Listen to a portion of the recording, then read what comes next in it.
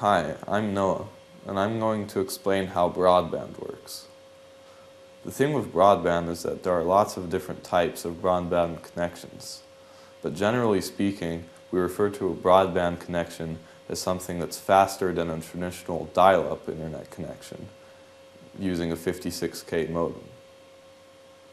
Dial-up connections are basically for your standard phone line, just connecting the phone line directly to the computer.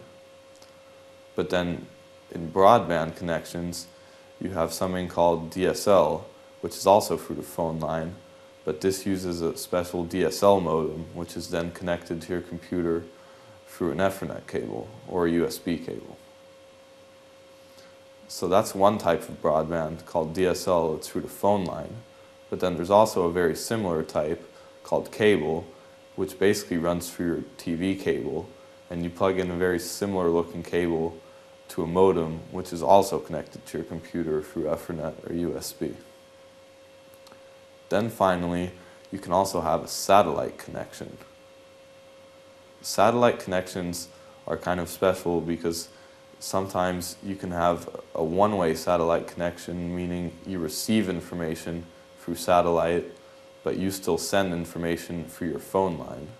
Or you can have a two-way satellite connection where you can also transmit back to the satellite. Finally, there's now a new kind of broadband connection which is provided by cell phone service companies, which is basically called a 3G connection. This means that you can connect to the internet the same way a mobile phone would. This is usually a good solution because it offers connectivity to the internet anywhere you are pretty much. And as opposed to satellite connections, it's not affected so much by the weather.